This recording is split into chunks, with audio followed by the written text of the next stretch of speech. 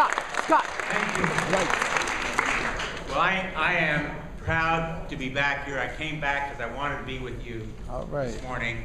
And I'm here to say hi, but I'm here to say thank you. Thank You're welcome. I'm here to say thank you because I know, I know better than other, anyone else, the reason that I am standing here as your United States Senator, I'm here because of you. You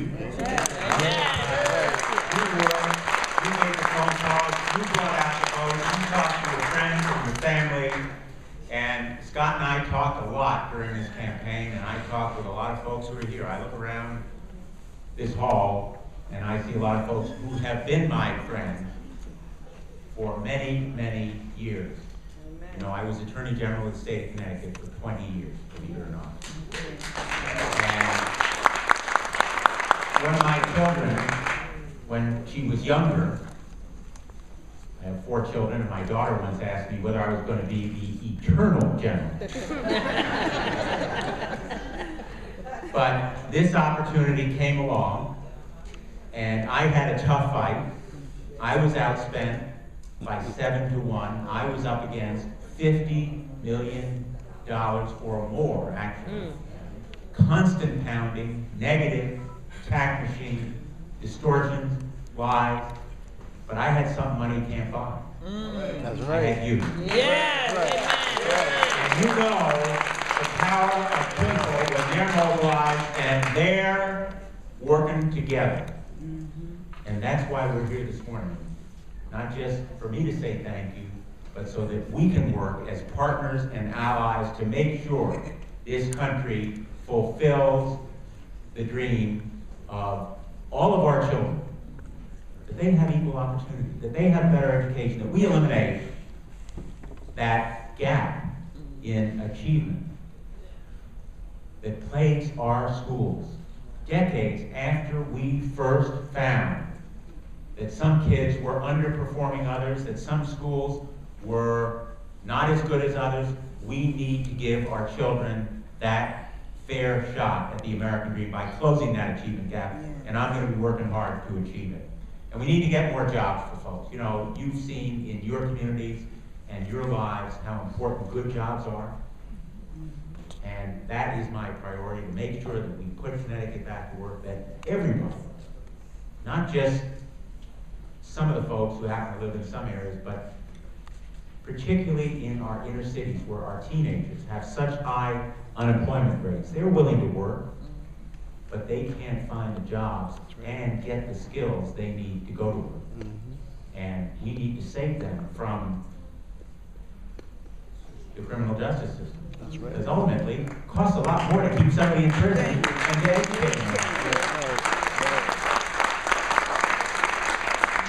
So better education, more jobs. I'm going to be on some great committees, the Armed Services Committee, I just found out, the Armed Services Committee, the Judiciary Committee, the Health, Education, and Labor Committee, and the Commission Committee on Aging. And they're going to give me, they're going to give me a platform to help Connecticut.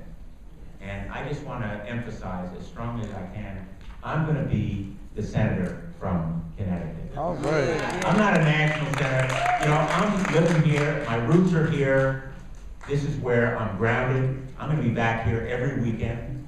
I'm gonna be coming to NAACP events, just like I did for right. twenty years as That's right. Attorney General. You can't get rid of me. That's right. That's right. You're gonna see me just like you did before. And by the way, anybody who happens to be visiting Washington, I'd love to see you. I need to see some friendly faces down there. I need some friends in Washington. So you gotta come see me, and I would just close with this thought. You know, uh, I'm gonna be on the Judiciary Committee, and one of the fights that I try to do as Attorney General, and Scott and the NAACP were very, very important in this fight, is to make sure that we have more men and women of color on our judiciary. Carol Ann Brown, stand up. We're trying to make her a judge. Come on, stand up.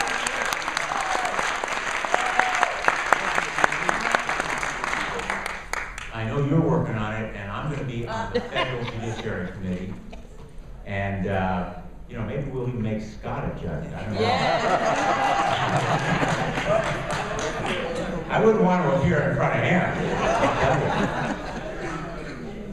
Uh, But more, more folks uh, who, who have that perspective, who know what it is to be victims of discrimination, who know what it is to fight, and who know that it's important to have that sensitivity. And men and women of color still are underrepresented on both the state bench and the federal bench, and we need to do better.